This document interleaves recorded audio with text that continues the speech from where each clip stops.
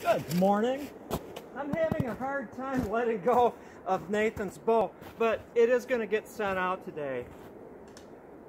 Like many of you, you probably watch a channel that goes by the moniker of NUSensei, and that is so, that's such a great channel. The guy knows his business. He's a competition traditional shooter. I, I think it would be called traditional still. You know, difference between primitive, traditional and he has these these these videos on annoyances.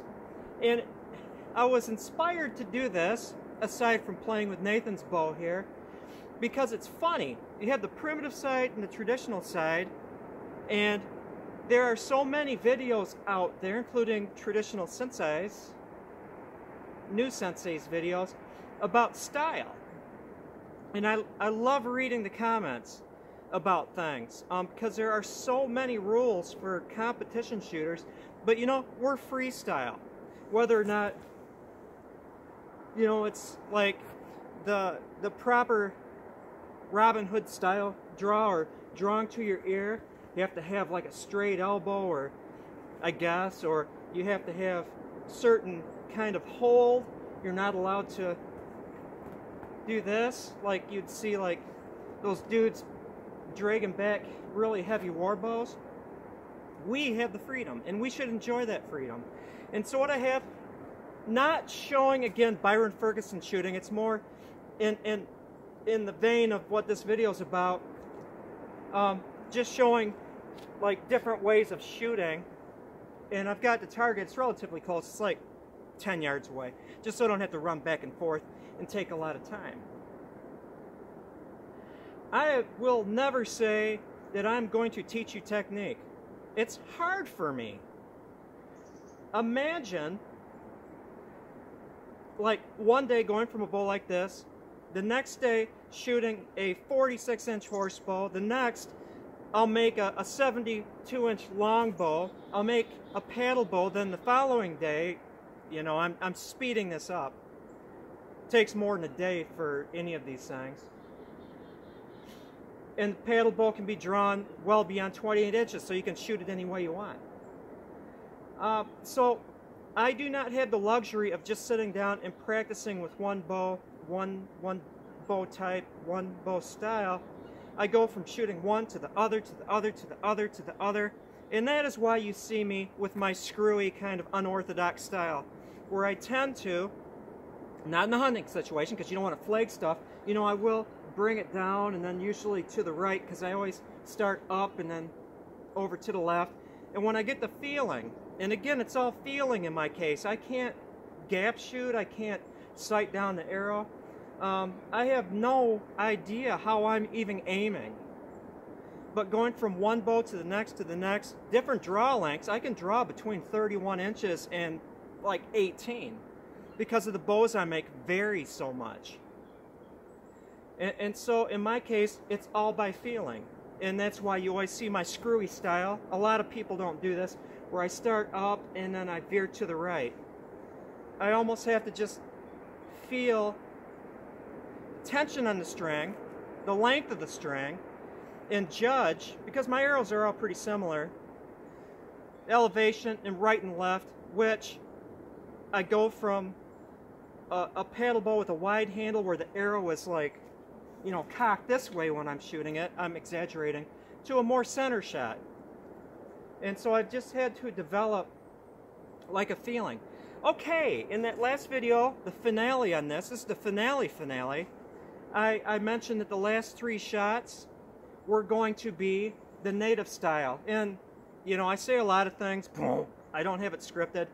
When I said poor technique, I didn't mean that at all for the drawing to the chest. I was being sarcastic or satirical, ironic, because what is poor technique? If you were like in a in a, a bow and arrow battle with a native person, an Aboriginal American person, North American person, you know, and you're shooting your Mediterranean style, and and they're shooting. If I turn the camera, you'd see that like they're close together I can hit both. Don't know how. It just works out that way. that the proper style is the one that allows you to hit what you're aiming at. Flies in the face of all the the people that want to be able to hit, you know, a small target at 60 yards, but we're not in that business. I would never I would never draw down at a deer at you know, a distance like that because it takes time for the arrow to move through the air and they might be eating or looking at you and by the time between the time you loose the arrow when it hits, they could have just moved eight inches. And that's the difference between the back of the lung and getting into like the liver. And that's not a good deal. And so, me run down here.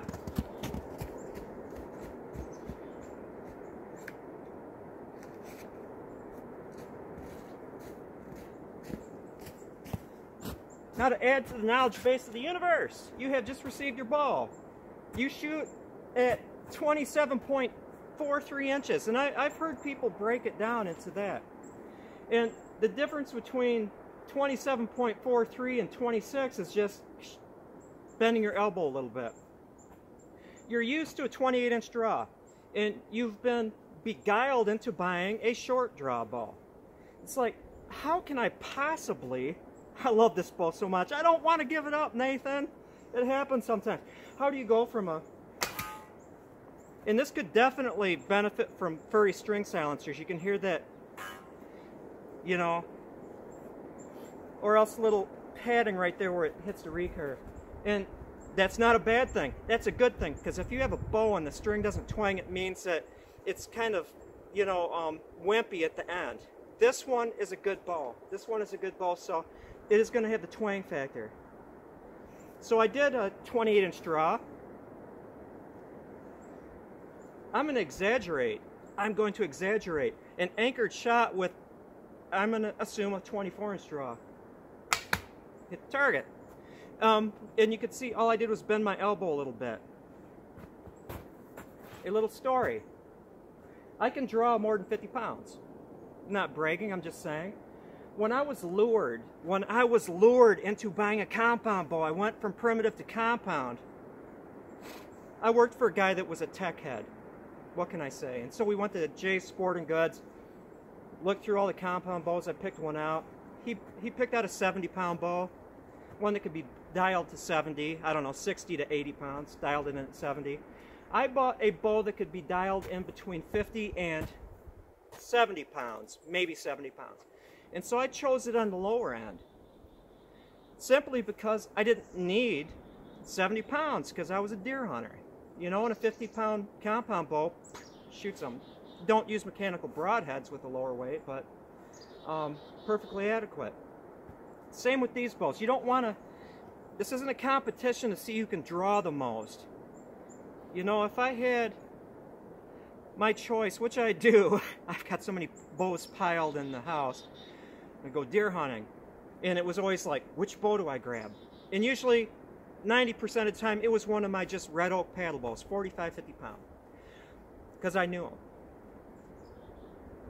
I would, if I had the choice of this 45 pound bow or 55 pound, which is my, my, my, my sweet range, you know, anything else, might grab a paddle bow, but this bow would certainly be in the running because it seems the arrows seem to go um, where I want them to go. In every case, I'm hitting the target.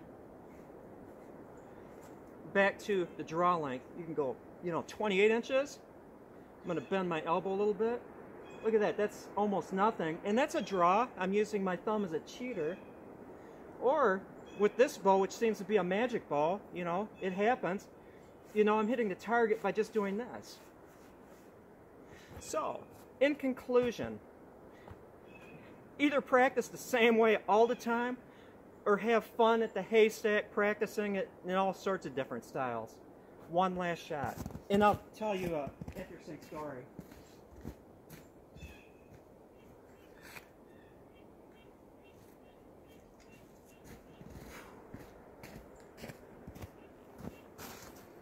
Actually,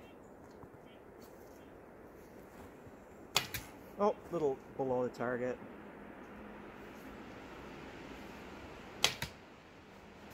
There we go. This, this is so fun. Now it's personal time. It, it's funny. I live where I work. I'm literally at all times surrounded by my work. And so I have these things I call Thornswift nightmares, where I'll, I'll dream you know, about something like suddenly there's a whole bunch of people climbing over the gates and I can't get them out. Or like 20 cars show up and they're just packed full of dogs off their leashes and they just let them roam in the woods. Get a lot of that. Two nights ago, I had probably the greatest Thornswift nightmare I have ever had because it contained elements of everything. I had seven employees that were little kids that were getting paid $15 an hour, and that would drive me way over budget, you know, unless I just let them work for a couple months and then then let them go and then I continued on. So I had seven little kids. I had three of the kids doing archery in the rain, and they left their bows in the pouring rain when they were done using them. Element number two, I'm not going to count because I'll get confused. The third element, one of the kids had bamboo arrows, but they weren't just bamboo arrows, they were like thick, like noodles. And I was trying my best to put the stone points back on them, but the tips of the arrows were like this wide and they were just noodly. Number three. I had the cash box and I had to, you know, do the, the accounting at the end. I opened the cash box and when I tried to pull out the money, it was all wrapped in masking tape. So I couldn't get the money off the masking tape without ripping it. What are we up to, four? It was dark. Night fell. The kids wouldn't leave, and I'm thinking I've got to fire a lot of them just so I stay in budget because it's been raining and it was they were unable to really do outdoor work because they were not into rain. And, and so I had that aspect, and they wouldn't leave. As soon as they left, I was going to close the gates because I wanted to go to town to buy food because I haven't been able to buy food because I was stuck here, you know, with these babysitting. A car pulls in. Now we're getting interesting. And the woman we're, we're a cooperative, cooperative effort between two organizations. Stuck a sticker from the other organization and says, I'm from such and such. You can't tell us to leave because we know, we know, we know the director. I hear that a lot. You can let me in off season or out of hours because I'm friends with such and such. As I'm telling her, doesn't matter. The rules are the rules. The passengers, a whole bunch of them, it's like a clown car, get out and start running down the trails. So I had to catch them. That's another element. The scariest part of that element, that group, that car, was the woman was wearing Daisy Dukes and an Ellie Mae Clampett t-shirt that's tied. She shouldn't have been doing that. That was not a good that was not a good um, um, style for her, let's just say. And I finally got them out. Okay, cleared. The next element was this person popped out of the house that I had dated for a while. Ugh, never want to, never want to see her again. That's another story. Um, and she was my wife. Wearing a plaid, wearing a, a really cheesy plaid suit. That could go either way, you know. I'm not scared of plaid suits, but it not good.